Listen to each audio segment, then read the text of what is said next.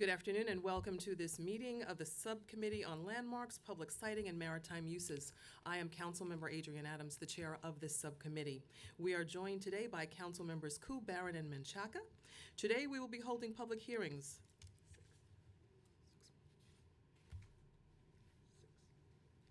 Today we will be holding public hearings and voting on six landmark designations by the Landmarks Preservation Commission. Hearing seven, voting on six. Okay, hearing seven and voting on six. LU 115 is a designation of the Emmet Building located at 95 Madison Avenue in Manhattan as a historic landmark. A 16-story limestone and terracotta office building constructed between 1911 and 1912. It is located in Councilmember Rivera's district, supported by Councilmember Rivera. LU 116 is the designate- designation by the Landmarks Preservation Commission of the Hotel Seville, now the James Nomad Hotel located at 22 East 29th Street in Manhattan, as a historic landmark. It is located in Councilmember Powers' district, supported by Councilmember Powers. LU 117 and 1118 and 1119 are three landmark designations in Councilmember Ayala's district, supported by Councilmember Ayala. LU 117 is the designation as a historic landmark of Public School 109, now El Barrio Art Space PS 109, located at 215 East 99th Street in Manhattan. The building was constructed in 1899 as a school. Since 2015, the building has been used as affordable housing and studio space for local artists. LU 118 is the designation of the Benjamin Franklin High School, now the Manhattan Center for Science and Mathematics, a two-block-long brick and limestone Georgian Revival building located at 260-300 Pleasant Avenue in Manhattan. LU 119 is the designation of the Richard Webber Harlem Packing House located at 207-15 each one East 119th Street in Manhattan. Constructed in 1895, the building was formerly a meat market that was part of a larger slaughterhouse, meatpacking, and retail complex. LU 120 is the designation by the Landmarks Preservation Commission of the Dr. Maurice T. Lewis House as a historic landmark. The building is located at 404 55th Street in the Sunset Park section of Brooklyn and Councilmember Menchaca's district, supported by, by Councilmember Menchaca. Constructed as a mansion in 1907, the Dr. Maurice T. Lewis House was later converted into an apartment building. Lastly, LU 121 is the designation by the Landmarks Preservation Commission of the Dime Savings Bank of Williamsburg as a historic landmark. Completed in 1908, it is located at 209 Havemeyer Street on Williamsburg Bridge Plaza in Councilmember Reynoso's district. Representatives of the Landmark uh, Preservation Commission will testify on all of these items, followed by testimony by the public. We will now have comments by Councilmember Menchaca. Uh, and I don't want to spend too much time, but say thank you, uh, not just to our chair uh, for her incredible work here, but um, for the LPC and, and their work uh, to to do the, the right thing in, in so many parts of our district. There's so many on the on the docket today. I will say though that um, the Dr. Maurice T. Lewis House uh, was one that that that really kind of set a really great tone in communication, conversation, partnership with community. Uh, when we heard about the demolition permit, uh, we also realized that the work that we had been doing in Sunset Park, uh, a warm relationship between uh, the city uh, and the community came together uh, and qu- swiftly, quickly came came to the rescue. So I'm here to just to say thank you, uh, and then also thank you to this committee for for the continued and official nod, yes, to preserve this property. Thank you.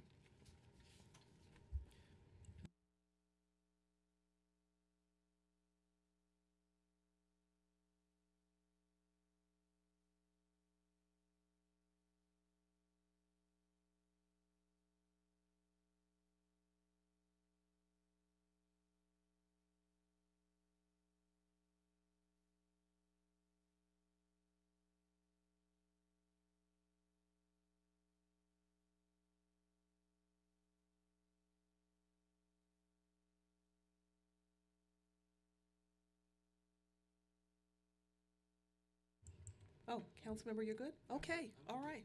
Okay, we're waiting for you. I saw you really, really into it, so I didn't, I wanted to make sure we didn't miss anything. Okay, thank you very much, Councilmember Menchaca. Okay, um, I will now open, uh, the public hearings on these items. Uh, LPC, you are here, please. um, Council, please swear in the panel, and LPC can introduce themselves. Please raise your right hand.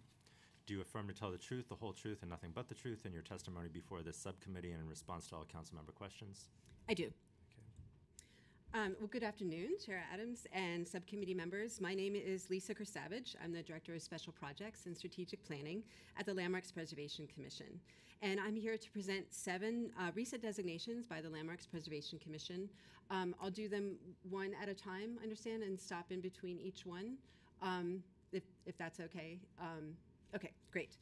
And uh, I just want to give you a heads up that um, for brevity, I've, it's a little bit shorter than what you have in the testimony. Um, so we're going to start in um, Madison Square North. Um, LPC has been analyzing the area around Madison Square North Historic District to identify potential individual landmarks. And the Hotel Seville and the Emmet Building were both standout buildings in our evaluation. Facing each other across Madison Avenue at 29th Street, just north of the Historic District, they are architecturally significant early 20th century structures. I will start with the Hotel Seville, which is a distinctive Beaux-Arts style hotel, notable for its elegant architecture and its importance within the development of New York City hotels during the 20th century. The hotel exhibits the classic composition and exuberant ornament features that were popular for hotels and apartment buildings at the time of construction. On March 6, 2018, the Commission voted to designate Hotel Seville, now the James Nomad Hotel, as an individual landmark fo- following a public hearing held on February 20, 2018. At the public hearing and in written testimony, the Commission received support from 10 organizations and individuals, including a representative of the property owner, Councilmember Kallos, State Senator Krueger, Assemblymember Gottfried, and representatives from Community 5, the Historic Districts Council, the New York Landmarks Conservancy, the Society for Architecture of the City, 29th Street Neighborhood Association, and the Metropolitan Chapter of the Victorian Society. The Commission did not receive any testimony opposing designation. The hotel is located at the southwest corner of Madison Avenue and East 29th Street, north of Madison Square Park. The landmark site, with an L shaped footprint, includes the hotel's corner section that opened in 1904 um, and the through block annex completed a few years later in 1907. Like similar hotels built north of Madison Square, the Hotel Seville reflects the neighborhood's evolution from affluent residential row house blocks into a bustling commercial and business district. The hotel catered to both permanent and um, permanent residents and visitors. Harry Allen Jacobs designed the 12 story corner section of the hotel that was completed in 1904. During his career, he designed many New York City buildings, including several that are now landmarks. Charles T. Mott, another New York City architect and brother in law of the owner, designed the three block annex that was completed a few years later in 1907. As seen in the middle photograph, the annex is only one story shorter but continues the earlier Beaux Arts design. As you can see in the photo on the left, the Hotel Seville's distinctive striped limestone and red brick provides a backdrop for French inspired sculptural details. The handsome building, today known as the, James Nomad Hotel, remains a striking example of the Beaux Arts style with finely crafted details that enliven the facades and contribute significantly to the streetscape of the Madison Square North neighborhood. Given the significance of the Hotel Seville, we recommend that the City Council uphold, uphold this designation.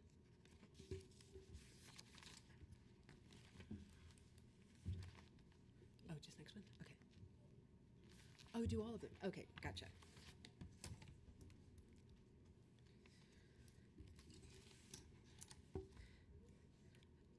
Ninety-five Madison Avenue, also known as the Emmet Building, is a sixteen-story office building designed by the firm of Barney and Colt for Dr. Thomas Addis Emmet in nineteen twelve.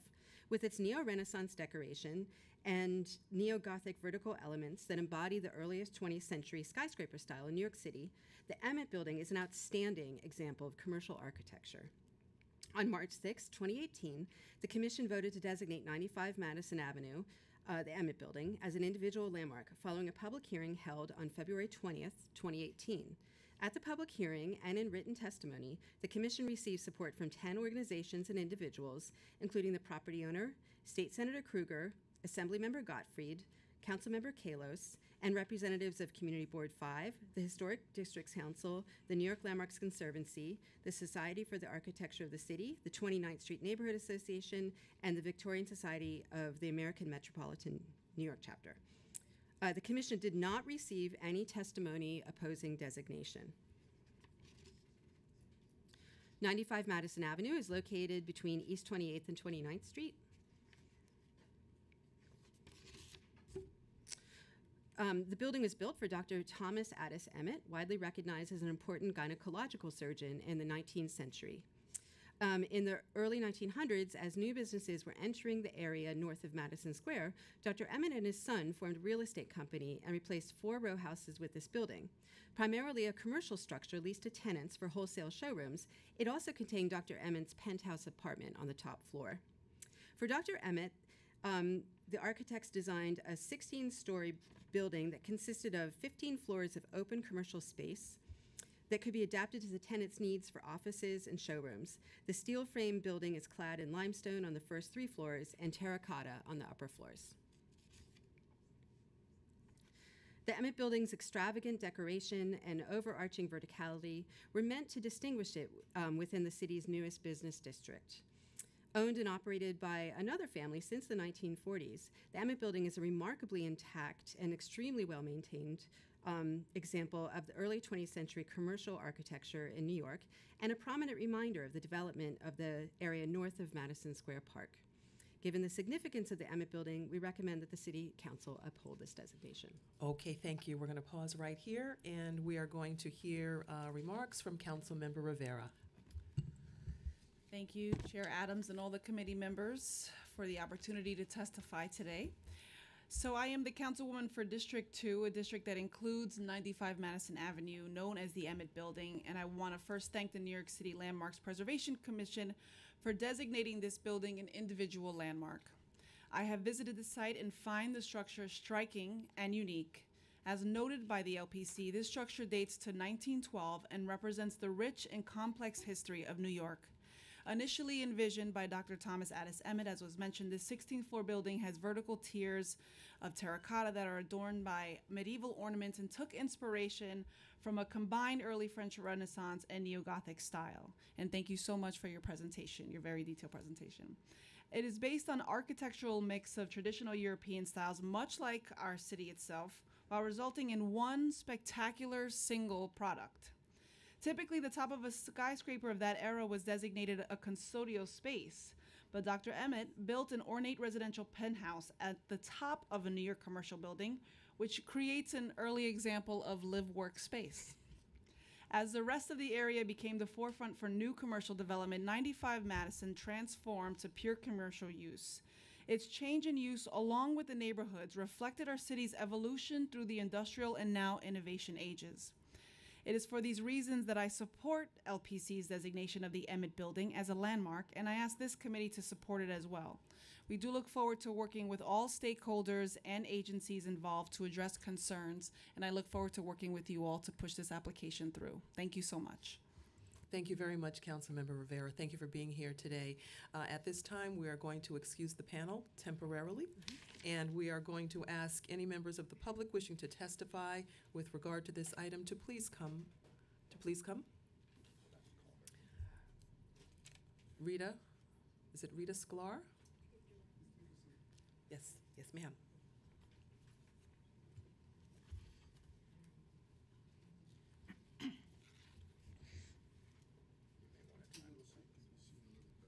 I'm sorry? Thank you.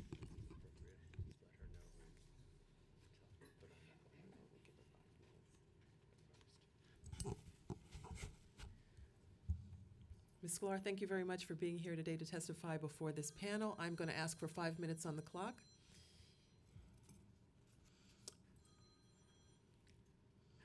Okay, thank you very much. You may begin. Uh, Dear uh, Mr. Mann and the Council Committee, my property, 95 Madison Avenue, 85858, has recently been calendared and designated as a landmark property. My experience these last few weeks has shocked me.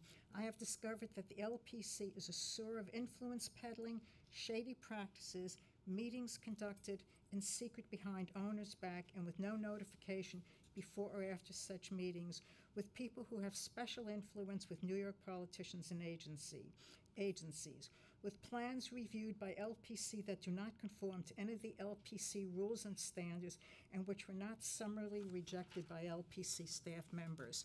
And where submitted and stamped dated as received applications vanish from LPC files in part or in their entirety, and attached documents to an owner-signed application do not match the description sent owner from an LPC staff, staffer in a letter which was purported to be a copy of paperwork in their files. Specific differences include date of receipt and approved differ by one month from approved applications in owner's possession. Owner filed three applications, sprinkler with no attachments, architectural with seven-page attached, all regular or legal size, MEP structural, etc., as a third with the same uh, attachments as in the architectural. But LPC staffers only sent the copy of the architectural above and description in staffer's first letter to me shows four attachments, of which few are large scale, none of which I reviewed or approved.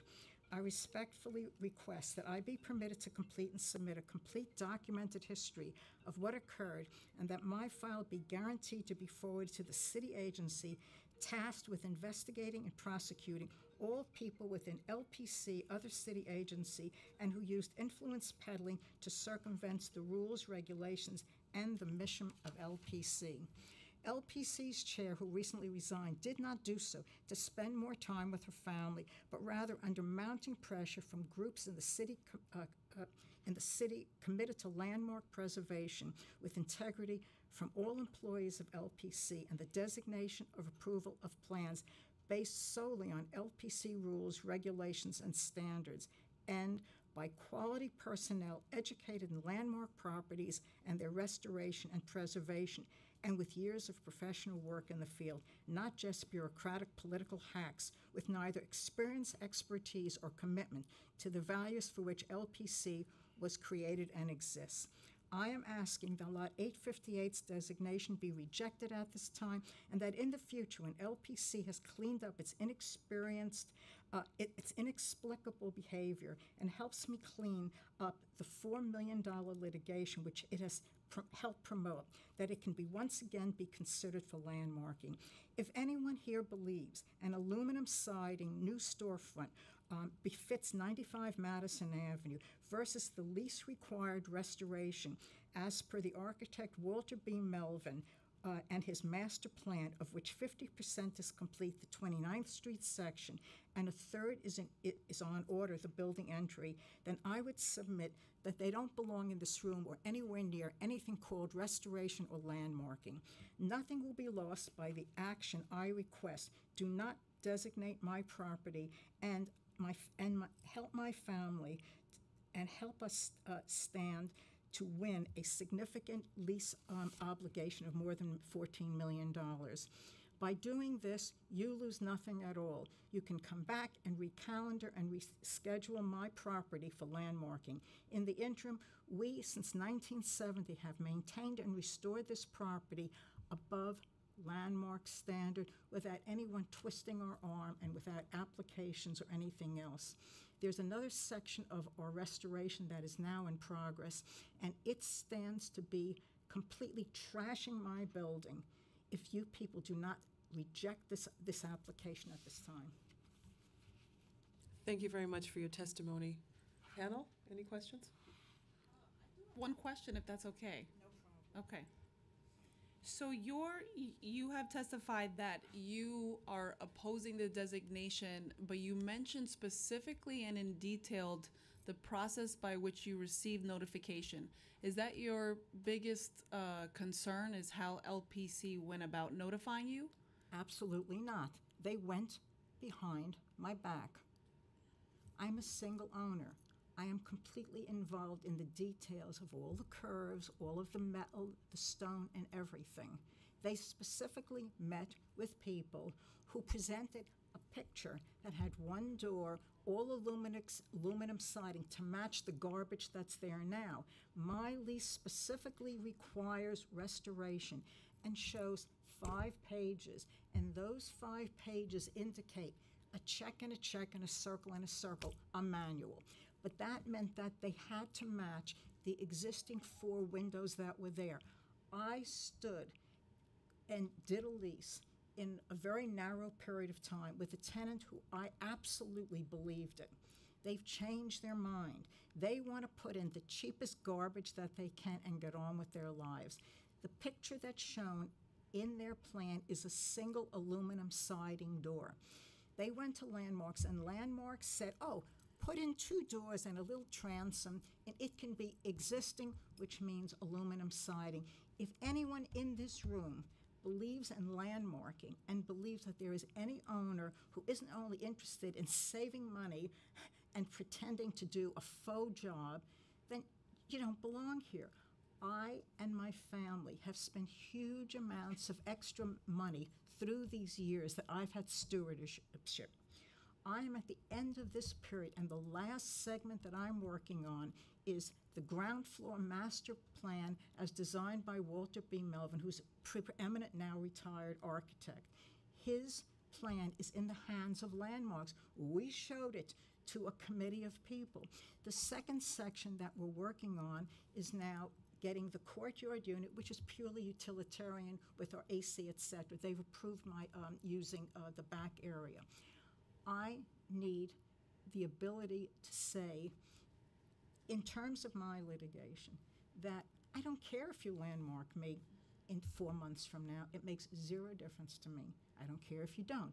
But right now, to approve this after what's happened, where they have absolutely put a $14 million lease plus $3.5 million in investment at risk, if this is the purpose of an organization, not to landmark a building, but to destroy the financial stability of a building, it's a disgrace. I understand. Thank you so much for your testimony today. That's all the questions I have, Chair Adams. Thank you very much, Councilmember. Thank you, Ms. Sklar, for your testimony today. We're going to resume with LPC at this point. You are still under oath. Thank you very much.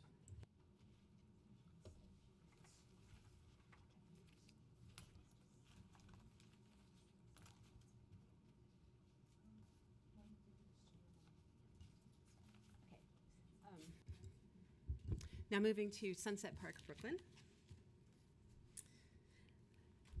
And just for a little bit of context, um, at the request of Councilmember Menchaca um, and the Sunset Park Landmarks Committee, LPC has been serving a large part of the Sunset Park community, and our analysis is ongoing. One of the buildings that we identified as eligible for designation through that process is the Dr. Maurice T. Lewis House, which was designed by New York architect R. Thomas Short and constructed in 1907. The restrained Renaissance Revival style building is a fine example of the early 20th century residential architecture and is a significant example of single family residential development in a neighborhood comprised mostly of row houses. On March 6, 2018, the Landmarks Preservation Commission voted to designate the Dr. Maurice T. Lewis House as an individual landmark, having held a hearing on the designation that day.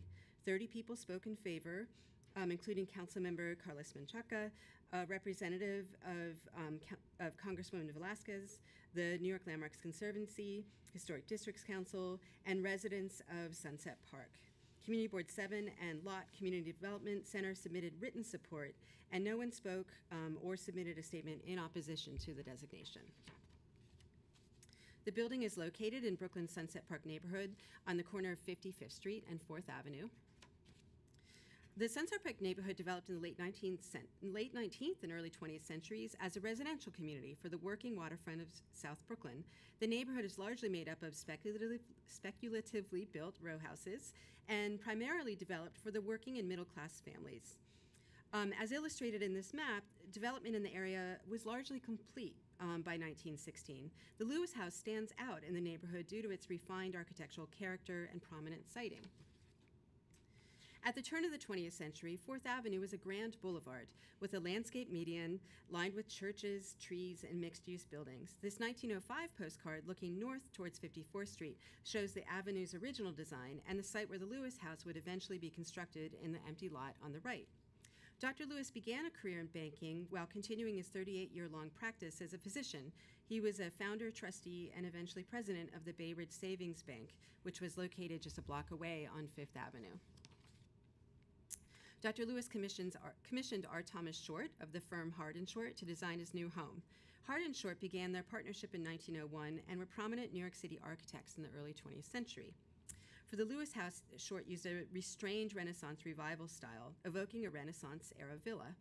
The elegant building stands out in the neighborhood, um, especially because so many of the um, other buildings were developer built row houses along the numbered streets. Given the significance of the Dr. Maurice T. Lewis House and the importance to the Sunset Park neighborhood, we recommend that the City Council uphold this designation.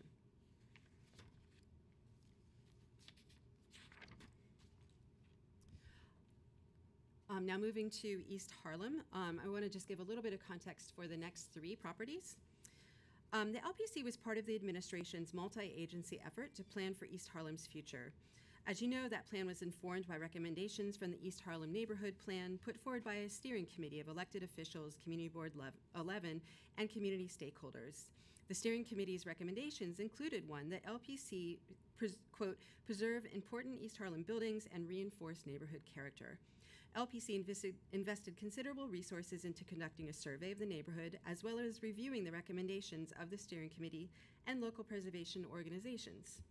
Through this survey, LPC prioritized three properties for designation.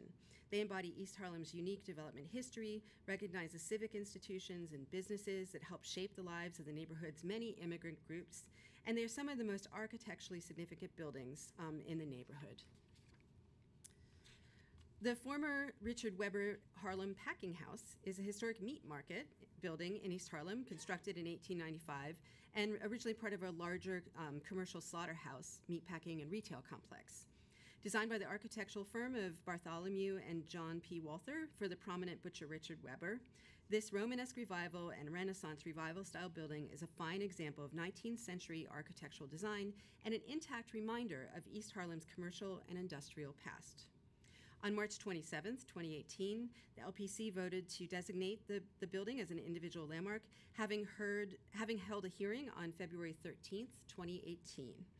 At that hearing and in written testimony, the Commission received support from 10 organizations and individuals, including um, Borough President Gale Brewer, representatives from the New York Landmarks Conservancy, Friends of the Upper East Side Historic Districts, Historic Districts Council, Marcus Garvey Park Alliance, Alliance Landmark East Harlem, um, and East Harlem Preservation, Civitas, Lott Community Development, and two individuals. No one spoke in opposition. The building is located on East 119th Street near the corner of 3rd Avenue. Richard Webber uh, was an English immigrant and started a small butcher shop in East Harlem in the late 1870s. The company was very successful and expanded in, into a large complex with a staff of 500. Uh, Webber maintained other businesses, and at the time of his death in 1908, he was described by the New York Times as one of the largest butchers in the city, if not the United States. Bartholomew and John Peter Walther designed the meatpacking house, which was constructed in 1895. Active in the late 19th and early 20th centuries, the architect specialized in warehouses, factories, and flats buildings, and designed a number of buildings in Upper Manhattan. The formal design and high quality craftsmanship of the six story brick and stone packing house presented a sophisticated public face for Webber's operations. The complex remained in use by the Webber Meatpacking Company until 1928, after which the building served a variety of functions. And even today, you can see the terracotta um, cow head reliefs ref- that refer to the building's original function. The building is a powerful presence on the streetscape, and given the significance and importance to the East Harlem neighborhood, we recommend that the City Council uphold this designation.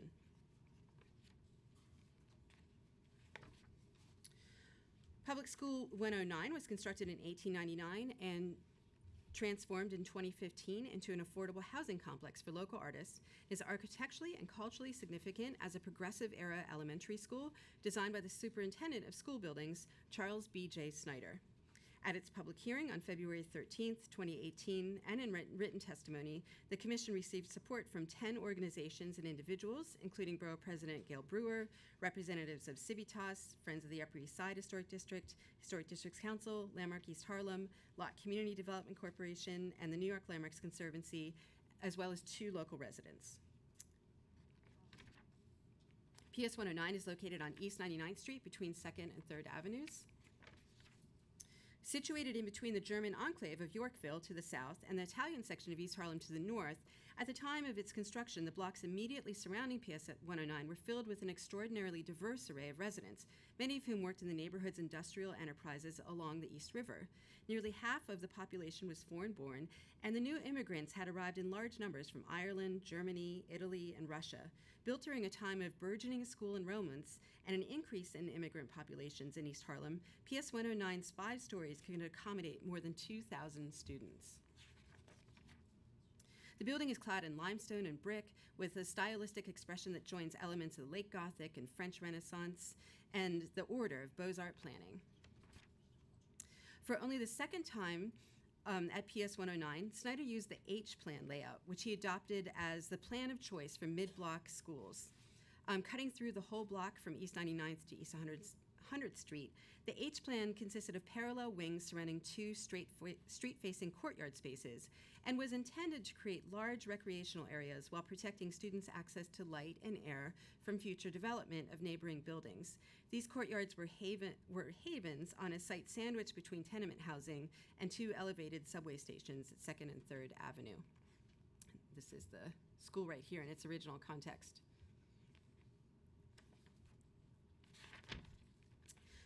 PS 109 played an important stabilizing role within the changing community of East Harlem throughout the 20th century, offering evening lectures and adult education classes and welcoming thousands of new Puerto Rican residents to the neighborhood. In the 1950s, the blocks immediately surrounding PS 109 were radically transformed by urban renewal and a NYCHA public housing project, the George Washington Houses. In the bottom left photograph from 1952, you can see PS 109 peeking out across partially cleared tenements on East 98th and 99th Street. PS 109 functions as a school until 1996, when, due to its poor condition, it was shuttered and threatened with demolition. ArtSpace, a nonprofit organization, began redeveloping the building in the mid 2000s, restoring its exterior while renovating its interior into artist housing and studio space that opened in 2015.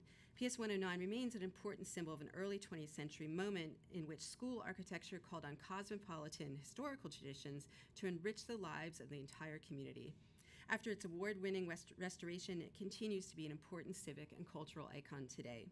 Given the significance of PS 109 um, and El Barrio's Artspace and importance to the East Harlem neighborhood, we recommend that the City Council uphold this designation. Benjamin Franklin High School, now the Manhattan Center for Science and Mathematics, located on Pleasant Avenue, is a Georgian revival school with neoclassical elements from 1942 that was built to house East Harlem's first high school. The school featured an experimental curriculum referred to as citizen centered community education that was implemented and developed by the pioneering educator, sociologist, and East Harlem resident Leonard Covello to serve the diverse immigrant community of East Harlem. At the public hearing on February 13th, 2018, and in written testimony, the Commission heard from 11 organizations and individuals, including the Office of the uh, Manhattan Borough President Gale Brewer, Lott Community Development Corporation, Civitas, the Vito Marcantonio Forum, the New York City Landmarks Conservancy, uh, Historic Districts. Historic Districts Council, Friends of the Upper East Side Historic Districts, Landmark East Harlem, East Harlem Preservation, and, and from East Harlem residents. No one spoke in opposition. Located on the eastern edge of East Harlem along the Harlem River, the school is bounded by Pleasant Avenue, East 116th, and the FDR Drive. Benjamin Franklin High School was built from 1940 to 42 and designed by Eric Kebbon, the head architect of the new construction for the Board of Education. As head architect, Kebbon oversaw the construction of more than 100 schools as New York um, City's school system expanded to meet increasing enrollments. The school has an impressive Georgian revival design with many classical details. The building is a significant feature of East Harlem's built environment with its riverfront location, its placement just north of Jefferson Park, and the central positioning of the building's entrance on access with East uh, 115th Street. Benjamin Franklin High School was constructed to be a highly visible feature of the community, reflecting a promise of broad community service through education. Franklin High School has had a significant impact on the social history of East Harlem and represents the rich history of social and political engagement of East Harlem in the mid 20th century. Established as East Harlem's first high school, um, not a trade or vocational high school. Under the leadership of the school leader, activist um, Leonard Covello, Benjamin Franklin High School was intended to be a citizen centered community school that actively engaged its students and the broader community in social and political reform and provided the educational and recreational activities that are now expected in public education, but were rare at that time. Envisioned in the 1930s as a means to improve the opportunities of the Italian immigrant community through bilingual education and community engagement, Benjamin Franklin High School opened as a neighborhood as the neighborhood began to experience significant demographic changes. The completion of the purpose built high school in 1942 allowed Covello to expand its educational program and better serve the community by providing free event space and 24 access, 24 hour access to the community. The school not only became an important space to ease the increasing ten, um, increasingly tense race relations faced in the community, but it also adapted its curriculum to meet the needs of the Puerto Rican migrants by providing orientations in Spanish, forming a Puerto Rican cultural club, and actively engaging the new families of East Harlem. Throughout the brief life of Benjamin Franklin High School as a community centered school, Covello and other progressive educators sought to strengthen and support their community and pr- improve the social and economic conditions of the community. The building now houses the top ranked Manhattan School for Science and Mathematics and the Isaac Newton Middle School for Math and Science. Positioned between the, the Harlem River, the park, and the dense neighborhood of Pleasant Village, Benjamin Franklin High School is a substantial presence in East Harlem and continues to play an important role in the city. Given the significance of this school and this building its, and its importance to the East Harlem neighborhood, we recommend that the City Council uphold this designation. And for the final one, um, we're going to Williamsburg, Brooklyn. The Dime Savings Bank of Williamsburg is a neoclassical building constructed between 1906 and 08 during the period of growth that occurred in the neighborhood after the completion of the Williamsburg Bridge in 1903. Designed by the prominent Brooklyn architect firm of Helmle and Huberty, the building is a significant example of the early 20th century savings bank that used a grand classical design to evoke a sense of security, prosperity, and civic pride among a largely low income immigrant community. At its public hearing on March 6, 2018, and in written testimony, the Commission received support from five organizations and individuals, including the property owner, Councilmember Antonio Reynoso, Congresswoman Nydia Velázquez, and representatives of the Historic Districts Council and the New York Landmarks Conservancy. The building is located at the corner of Havemeyer Streets and South Fifth Street. Um, industry flourished in Williamsburg along the East River waterfront during the mid 19th century, and numerous savings banks were established for the growing immigrant population to encourage thrift. Incorporated in 1864 by a group of prominent community members, the Dime Savings Bank of Williamsburg oc- occupied a few small offices before moving to its new headquarters. Um, their original building is no longer extant. In 1903, the completion of the Williamsburg Bridge shifted the neighborhood's financial center from Lower Broadway, outlined in blue on the map, to the Williamsburg Bridge Plaza at the bridge approach, outlined in red. The Dime Savings Bank of Williamsburg acquired two corner lots facing the plaza in 1906 and commissioned the architectural firm of Helmle and Huberty to design its new headquarters. Several designated New York City landmark bank buildings are located in the vicinity of the Williamsburg, excuse me, Williamsburg Bridge Plaza, as you can see in this map. Helmle and Huberty um, were distinguished Brooklyn architects known for designing banks, park buildings, and churches. After the New Dime Savings Bank of Williamsburg headquarters opened in 1908, the Brooklyn Daily Eagle boasted that the completed structure readily commends itself as one of the most attractive financial institution buildings in the city. The monumental Indiana limestone building has many classical architectural details. This circa 1910 image, image captures the Williamsburg Bridge Plaza as viewed from the designated Williamsburg Trust Company building. The Dime Savings Bank is visible on the far right um, by the red arrow, um, occupying one of the most prominent positions on the plaza. Modern transportation corridors have since divided the plaza into several distinct sections, but the remaining bank buildings recall a time when opulent financial institutions provided the backdrop to the bridge approach. In 1923, the bank's trustees purchased two lots behind the property to enlarge the building. Completed in 1925, the addition nearly doubled the size of the bank and blended in seamlessly with the original building by extending the articulated side elevation on South Fifth to the neighboring row house. The building, uh, which retains a high level of integrity, has a strong presence in the neighborhood and is significance for, el- for its elegant design and history associated with Williamsburg Historic Financial Center. Given the significance of the Dime Savings Bank of Williamsburg, we recommend that the City Council uphold this designation. Thank you very much for your testimony, Ms. Savage, your extensive tes- testimony today on all of these very beautiful um, historic properties. Um, uh, Again, we in the city of New York should be very, very proud that we are home to these buildings. They are absolutely beautiful, so thank you very much for your testimony. Thank you. Uh, Panel, are there any questions at this point? Okay, are, you may be excused. Thank you. Are there any more members of the public that wish to testify on behalf of any of these items today? Seeing none, I will now close the public hearing on these items. We will lay over LU 115, and I will call for a vote in accordance with the recommendations of the local council members to approve LUs 116, 117, 118, 119, 120, and 121. Council, please call the roll. Adams, Aye. Barron, I vote aye. Koo? Aye. By a vote of three in the affirmative, zero in the negative, and zero abstentions, the items are recommended for approval to the full land use committee. And do you want to hold the vote open? We will hold the vote open for about 15 minutes. Okay. Can you, do you want to just say the meeting is tomorrow? That we should have a meeting, we're having the meeting tomorrow at ten forty-five, because I don't want her to say she has no notice that she isn't here. All right, just to advise the panel and the audience, we will revisit uh, LU 115 tomorrow morning. What time? 10:45. I'd like to thank the members of the public, my colleagues, council, and land use staff for attending today's hearing. This meeting is open. Thank you.